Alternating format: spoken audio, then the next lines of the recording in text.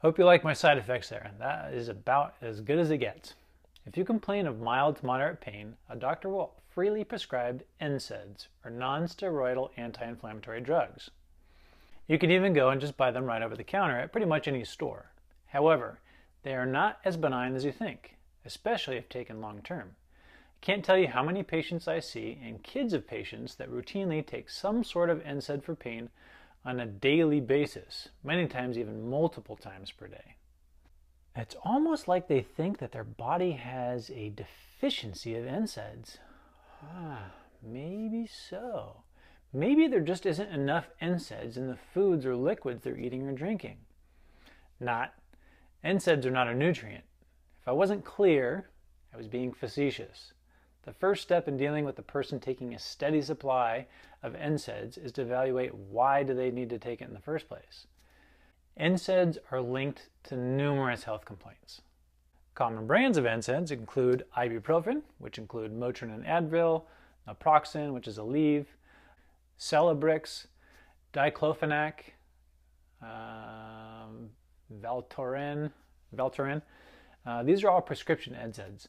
Aspirin is also an NSAID, but it doesn't pose the same heart attack and stroke risks. So maybe it's a lesser of two evils, or maybe it's just evil differently in its own special way. Oh, how sweet. So NSAIDs have been linked to many health disorders, such as the following. They've been noted to lead to a 40 to 60% increase in the risk of heart cardiovascular problems, a 25% increase in risk of hearing loss, a 60% increase in the risk of heart failure, numerous gastrointestinal problems such as pain, heartburn, nausea, vomiting, bleeding, ulcers, and leaky gut.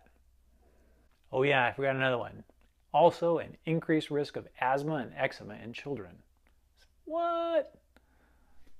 So NSAIDs increase heart attack and stroke risk.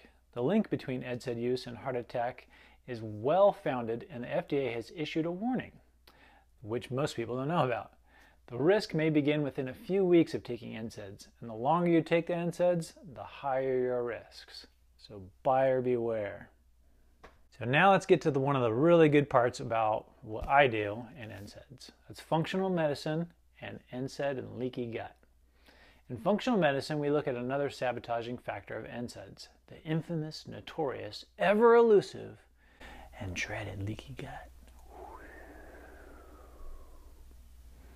Leaky gut means the lining of the small intestines has become so damaged that it becomes overly porous, or it's got holes in it allowing undigested food, bacteria, yeast, and other pathogens and proteins into the bloodstream from the gut. This triggers inflammation and pain throughout the body, exactly the sort of thing people use NSAIDs to relieve. So this doesn't even take into account that leaky gut is very tightly associated with autoimmune issues. See my page on autoimmunity, I have some other blogs as well. But essentially what happens is you get that leaky gut, you're getting all that extra stuff into your system that you shouldn't get, and your immune system goes haywire. Then, before you know it, you start attacking yourself. So, there are some simple functional medicine alternatives to NSAIDs. And this is a very simple, uh, easy list, and it's definitely not all inclusive. Nobody wants to be in pain. It's understandable to seek relief so you can feel and function better. However, many people are surprised to find that their chronic pain diminishes substantially when they adopt functional medicine basics. Get in and give me 20! So the following are a few ways functional medicine can relieve pain and eliminate that need, need for those NSAIDs.